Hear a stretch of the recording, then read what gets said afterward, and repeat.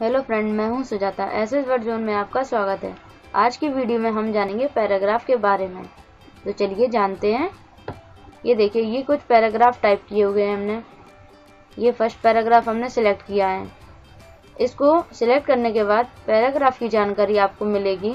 ये देखिए, प्रॉपर्टी बार में ये ए लिखा हुआ है। या तो आप इस पर क्लिक कर दीजिए, या मेन्यू बार में जाकर, टेक्स्ट मेन्यू में जाकर यहाँ पर लिखा हुआ है टेक्स्ट प्रॉपर्टीज़ इस पर क्लिक कर दीजिए या कीबोर्ड से कंट्रोल टी कर दीजिए। तो ये एक छोटी सी विंडो ओपन होकर आती है साइड में। ये देखिए, नीचे आएँगे यहाँ। यहाँ लिखा हुआ है पैराग्राफ यहाँ पर आपको पैराग्राफ की फुल इंफॉर्मेशन दी हुई है कि पैराग्राफ में चेंजिंग कहाँ से करेंगे और क्या क्या चेंजिंग होती है, वो सब इसमें दिया हुआ है। तो देखिए, हमने ये पैराग्राफ को सिलेक्ट किया है। इसमें सबसे पहले आता है अलाइन लेफ़्ट तो यहाँ से देखिए कि अलाइन लेफ़्ट है। यहाँ पर ये जो भी अपन यहाँ पर टाइप करेंगे, वो लेफ़्ट से ही टाइप होता जाएगा। सेकंड है इसमें सेंटर तो देखिए हम इसको सेंटर करते हैं। ये देखिए, हमारा पैराग्राफ सेंटर में हो गया। और अब हमारा थर्ड है हमारा राइट अलाइनमेंट ये देखिए राइट अलाइनमेंट हो गया हमारा। फोर्थ है, इसमें लिखा हुआ है फुल जस्टिफाई इसको करते हैं तो ये देखिए फुल जस्टिफाई हो जाएगा। ये देखिए फुल जस्टिफाई हो गया। लास्ट आता है हमारा फोर्स जस्टिफाई फोर्स जस्टिफाई में क्या होता है? ये जो लास्ट वाली लाइन है, वो भी एंड तक बराबर में आ जाती है। ऊपर वाली लाइनों के बराबर में आ जाती है, इसको बोलते हैं फोर्स जस्टिफाई ठीक है? अब देखिए, हमारा आता है ये कैरेक्टर स्पेसिंग कैरेक्टर स्पेसिंग का मतलब है, हमने ये इसको देखिए सिलेक्ट किया हुआ है। ये जो कैरेक्टर है, इनके बीच स्पेस बढ़ेगा। देखिए, अभी यहाँ ज़ीरो है। अगर हम इसको फिफ्टी करते हैं तो ये देखिए, ये हमारे कैरेक्टर के बीच में स्पेस बढ़ गया। अब हम देखते हैं वर्ल्ड स्पेसिंग वर्ल्ड स्पेसिंग में क्या होता है? हमने इसको सिलेक्ट किया। यहाँ से इस पे सेव टूल को लिया। सेव टूल को लेने के बाद क्या होता है? जैसे ही हम सेव टूल को लेते हैं, ये देखिए, ये पॉइंटर जो है चेंज हो गए हैं। और हर एक कैरेक्टर के नीचे एक छोटा सा ब्लॉक बनकर आ रहा है। इसका मतलब है, जैसे कि हम इस वाले एरो पर गए और यहाँ पर जैसे ही माउस का पॉइंटर आया तो ये प्लस में चेंज हो गया माउस का पॉइंटर अब हम इसको क्लिक करके आगे की तरफ़ ड्रैग करते हैं तो ये कैरेक्टर के बीच में स्पेसिंग लाएगा। अगर हम यही शिफ्ट के साथ प्रेस करते हैं तो देखिए, ये हमारा वर्ल्ड के बीच में स्पेस लाता है। ये देखिए वर्ल्ड के बीच में स्पेस आ गया। ये होता है हमारा वर्ल्ड स्पेसिंग अब देखिए, जैसे कि हमने ये वाला पैराग्राफ इस पर हमने किया है फुल जस्टिफाई हमने ये किया हुआ है फुल जस्टिफाई अगर अब हम इसमें बीच में कहीं पर भी क्लिक करके टाइप करते हैं तो ये देखिए, पूरा उसी में ही सेट होगा। जैसे कि आगे बढ़ा है, ऊपर वाली लाइन में अगर ज़्यादा स्पेस लेगा तो ये नीचे वाली लाइन में सेट हो जाएगा। लेकिन ये होगा फुल जस्टिफाई में ही टाइप ये देखिए फुल जस्टिफाई में टाइप हुआ है। ये देखिए। अगर अब हम ये है सेंटर अगर हम इसमें कहीं पर भी क्लिक करते हैं और ये टाइप करते हैं तो ये सेंटर से ही टाइप होगा, देखिए.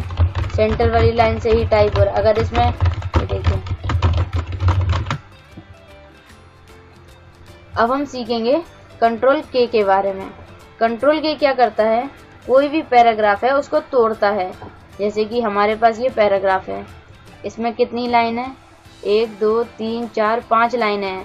अगर हम कंट्रोल की प्रेस करते हैं तो ये देखिए एक एक लाइन में टूट गया। देखिए, अब ये एक एक लाइन अलग अलग सिलेक्ट हो रही है। ये देखिए, ये लाइन अलग अलग सिलेक्ट हो रही है। अगर हम चाहते हैं कि ये वाली जो लाइन है फ़र्स्ट वाली, इसको हम वर्ल्ड में तोड़ना चाहते हैं तो फिर से कंट्रोल के कर दीजिए। तो अब ये एक एक वर्ड में टूट गया, ये देखिए, ये एक वर्ड ये दो वर्ड ये ऐसे टूट जाता है। अगर हम वर्ड को ही कंट्रोल के करते हैं तो ये एक एक कैरेक्टर में टूट जाता है। ये देखिए, एक ही कैरेक्टर में हो गया। अब ये एक ही कैरेक्टर अलग अलग सिलेक्ट होगा। ये देखिए। और अगर हम, जो अभी हमने ये इसको तोड़ा हुआ है, अगर हम इसको जोड़ना चाहते हैं तो लाइन से सिलेक्ट करना पड़ेगा। जैसे कि ये पहली वाली लाइन है, ये वाली दूसरी लाइन है, और तीसरी लाइन है, चौथी लाइन है। अगर हम चाहते हैं कि दूसरी, तीसरी, चौथी, ये तीनों लाइन है, पहले की तरह जुड़ जाए।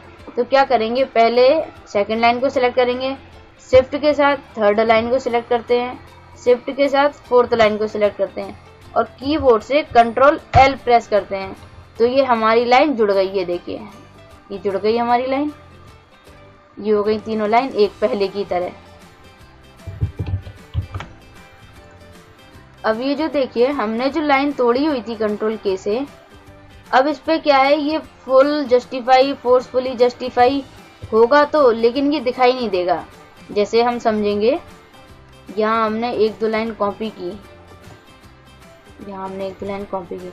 अब हमने ये जो लाइन कॉपी की है, इस पर हम सबसे पहले करते हैं सेंटर सेंटर कर दी। अब हम यहाँ पर देखिए, बीच में क्लिक करते हैं या कहीं भी, बीच में साइड में, या आगे की तरफ़ कहीं भी क्लिक कर दीजिए और आप टाइप करना स्टार्ट कीजिए। है जैसे ही हम टाइप करना स्टार्ट करेंगे, ये दोनों तरफ़ से बढ़ेगा, क्योंकि अभी इस पर क्या है सेंटर का इफ़ेक्ट पड़ा हुआ है। ये देखिए, दोनों साइड से ये बढ़ रहा है। अब हम इस पर देखते हैं। ये, इसको सिलेक्ट किया हमने। इस पर हमने किया राइट राइट साइड का इफ़ेक्ट डाल दिया। ये राइट साइड का इफ़ेक्ट हो गया इसमें, पर ये अभी शो नहीं हो रहा है। अब हम इस पर क्लिक करते हैं। और इसको टाइप करते हैं। तो देखिए, ये टाइपिंग करना स्टार्ट किया जैसे ही टाइपिंग करना स्टार्ट किया ये राइट साइड से मतलब आगे की तरफ़ नहीं बढ़ रहा है राइट साइड से लेफ़्ट की साइड बढ़ रहा है टाइपिंग करने पर। ये देखिए, बढ़ रहा है। अब आता है इसमें फुल जस्टिफाई फुल जस्टिफाई में क्या होता है? अब हम फुल जस्टिफाई करते हैं इसको। तो देखिए, ये टाइप करते हैं। ये फुल जस्टिफाई में होगा टाइप देखिए। आगे लेफ़्ट राइट की साइड बढ़ रहा है, ये देखिए ये फुल जस्टिफाई में होगा। अब हम जानेंगे केस चेंजिंग के बारे में। केस चेंजिंग जैसे कि ये लिखा हुआ है एस एस वर्ल्ड जोन ये अभी हमारा पूरा कैपिटल में लिखा हुआ है। तो केस चेंजिंग के लिए टेक्स्ट में जाने के बाद यहाँ नीचे लिखा हुआ है चेंज केस इस पर क्लिक करते हैं। एक छोटा सा डायलॉग बॉक्स ओपन होकर आता है। इसमें देखिए, सबसे पहले लिखा है सेंटेंस केस दूसरा लिखा है लोअर केस तीसरा लिखा है अपर केस फिर टाइटल केस फिर टॉगल केस तो सबसे पहले हम ये देखते हैं लोअर केस के बारे में। लोअर केस पर क्लिक किया और ओके किया। तो ये हमारा सब लोअर केस में आ गया। Small A B C D में आ गया।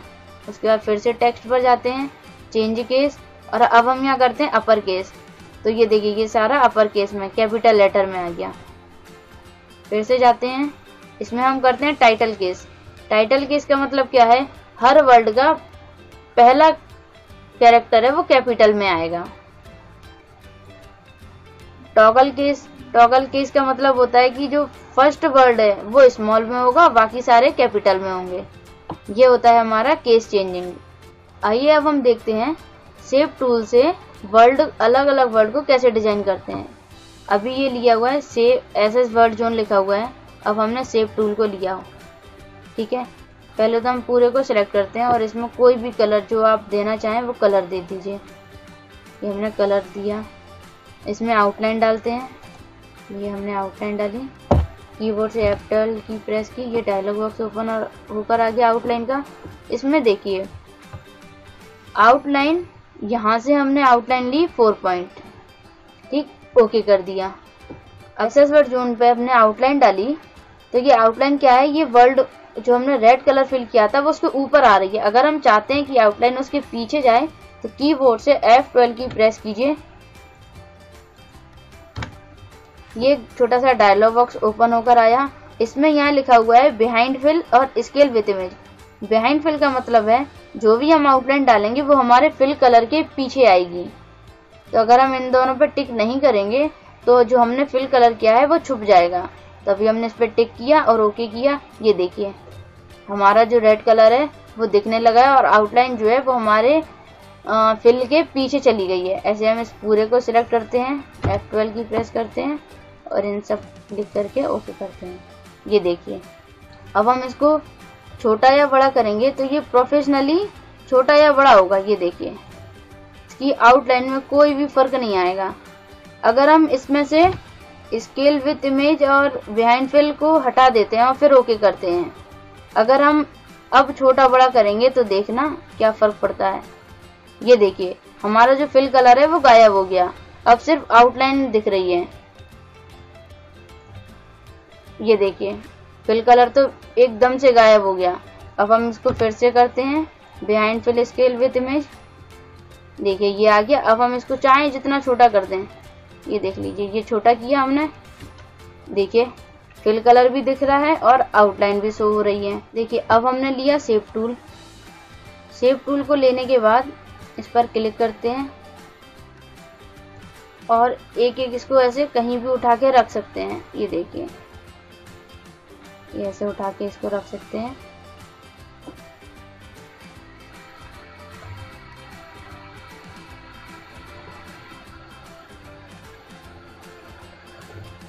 ये देखिए सेव टूल से हम अपने वर्ल्ड को अलग ही डिज़ाइन दे सकते हैं। ये देखिए, अभी हमने जोन को कैसे लिख दिया, अभी बिल्कुल सीधा लिखा हुआ था, अब हमने इसको डिज़ाइन में कर दिया, ऊपर नीचे कर दिया।